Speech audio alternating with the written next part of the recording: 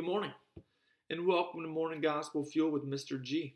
It is Tuesday, October 27th, the feast day of Saint Frumentius. Uh, he was a 4th century bishop and confessor and apostle to Ethiopia, and he is the patron saint of the kingdom of Aksum, which is located in northern Ethiopia.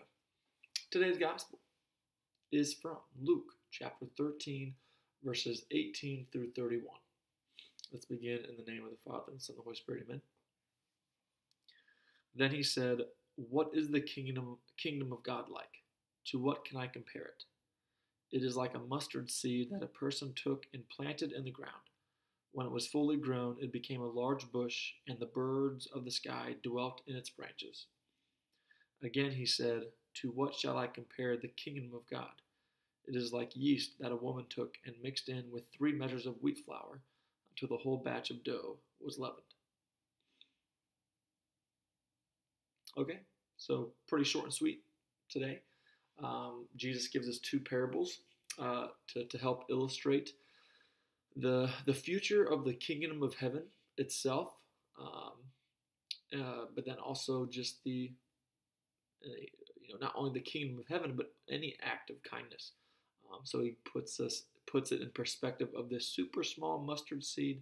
And if anybody that's ever made bread, which is kind of a lost art, I guess, I, um, I there's not as many people make homemade bread anymore. But you only take just a little bit of yeast, or if you make uh, maybe if you make wine, you don't put that much yeast in it.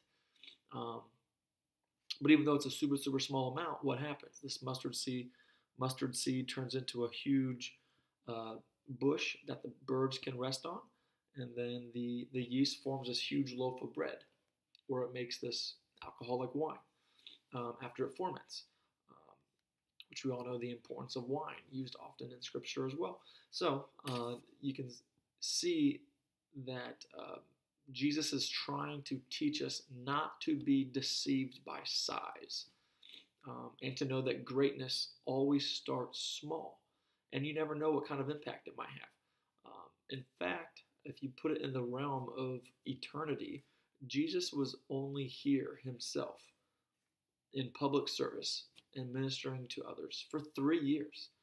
In the grand scheme of things, three years is not that long. Um, and then just look what happened uh, from that. We were all saved from our sins, of course, and we all have the opportunity to now go up into heaven. Um, so Jesus himself had small beginnings. So we, and that's really the challenge today relative to um, size. That things, you know, oftentimes we think, ah, it really doesn't matter. It, this doesn't matter. That doesn't matter.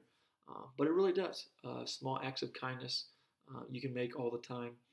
Um, maybe a small gesture, maybe just a small, simple smile, or maybe a small financial donation. Um, you never know what what what God can do with it uh, and how it can affect somebody else's life. So um, that's the challenge in relation to other people. Uh, don't fall into the trap of thinking little things don't matter.